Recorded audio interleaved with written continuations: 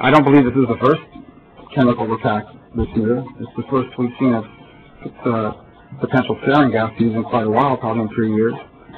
So does this mean he wouldn't have ultimately done it anyway? Probably would have ended up doing it anyways at some point. But I do believe that when you read, and I'm not, by the way, believe that that was Secretary Tillerson's intention, nor do I believe that that's what he thought would happen. But if you're Bashar al-Assad and they're basically sending you a signal that in the end, we just want you to finish this war quickly and we don't like you, we think you're a bad guy, we think you do bad things, but we think you're better than the alternative, and at this point our priority is just ISIS, and, and we don't really care what happens after that in the short term, I think that is, in my view, something that would encourage him to do something like what we've just seen. And so I, I personally do not believe that it's coincidental.